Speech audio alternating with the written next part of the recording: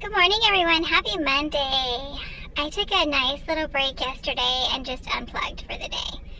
Uh, Jay was off. He hasn't been off in days. They're working six days a week, so um, so yeah. So his schedule is kind of crazy, and so yesterday we just I worked super late on Saturday. I had to get out several packages, and um, so I was tired by Sunday morning.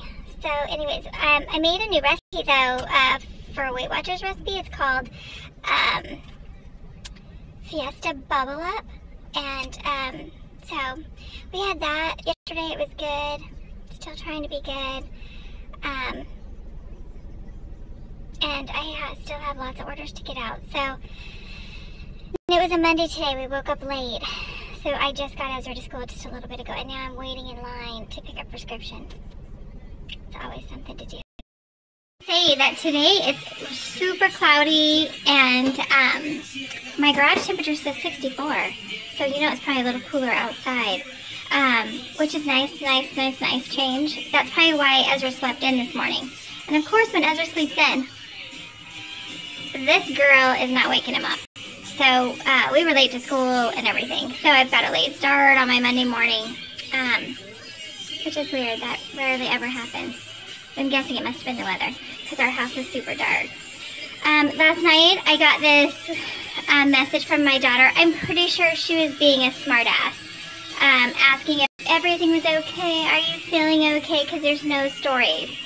Um, of course, you know, I told you yesterday I just took a day to unplug. Uh, but I'm glad that she checked on me. I mean, even though it was 11.15 at night, so had I been laying somewhere knocked out cold or something, I mean, no one would have, no one would have known. I would have just been knocked out somewhere and she wouldn't have checked on me until 11.15 at night. I mean, way to go, Jenna. Way to go, little smart-ass daughter that I have. I mean, she does come by, honestly. Does get that from, from me. but really, Jenna, I mean, I guess I should be grateful that she at least checked on me, checked in to make sure everything was okay. I'm glad everything was. Lucky Jenna. Shout out to my husband. I was, I had to have him make me a pallet yesterday on his day off, which is his only day off. So I felt kind of bad, but I'm just going to show you. It's the perfect pallet. I mean, he is seriously so good at putting these pallets together. Look at this pallet. I mean, it seriously is so great and solid, solid, solid. Look at that. Boards are so straight and so smooth. Brackets are nice. Ugh.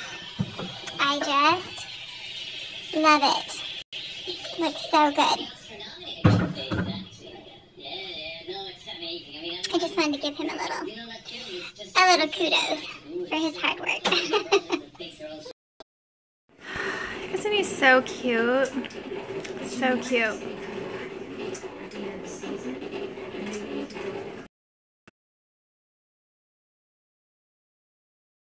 Okay, so I made sp spaghetti squash tonight.